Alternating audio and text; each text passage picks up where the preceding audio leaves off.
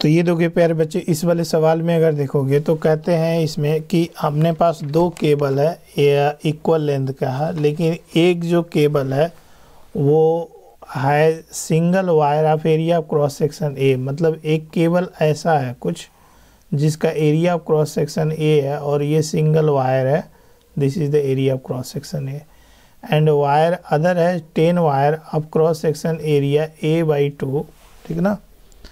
और एक दूसरा वायर है जिसका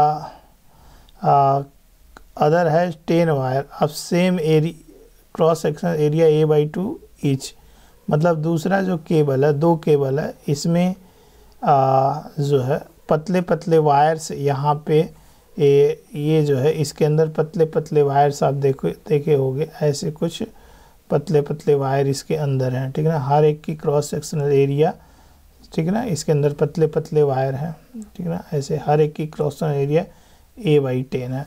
तो ये कहते हैं गिवन अगर गिवन ट्रांसपोर्टिंग एसी और डीसी के लिए कौन सा सुटेबल होगा? अब देखो अगर बात करोगे तो सबसे पहले देखो डीसी की बात करो।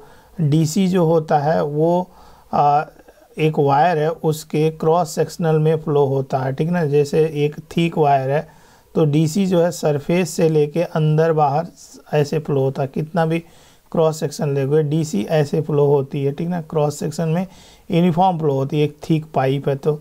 लेकिन जो एसी होती है, जो एसी होती है मोस्ट ऑफ़ द एसी जो होती है, वो अगर ये थीक है कंडक्टर से, ठीक ना? मटेरियल सॉलिड है तो जो एसी होती है, वो सरफेस पे फ्लो होती है, ठीक है ना एसी जो होती है, वो सरफेस पे फ्लो होती है यहाँ। अंदर में एसी फ्लो बहुत कम होती है नेग्लिजिबल तो मोस्ट ऑफ़ द एसी जो करंट होती है, वो सरफेस पे फ्लो होती है और इसको हम बोलते हैं स्किन इफ़ेक्ट जो जो पतली पतली वायर यूज़ करते हैं, घरों में देखे होंगे तो इससे क्या होगा? Large transportation large amount of current हमें अवेलेबल होता है और इससे हमें ज़्यादा से ज़्यादा पावर गेन होता है मतलब लॉस कम होता है। दूसरी रीज़न है फ्लेक्सिबिलिटी ज़्यादा होती है। एक पतले पतले वायर्स के कंपेयर में जो है, ये ज़्यादा फ्लेक्सिबल होते हैं is compare to thick wire ठीक ना?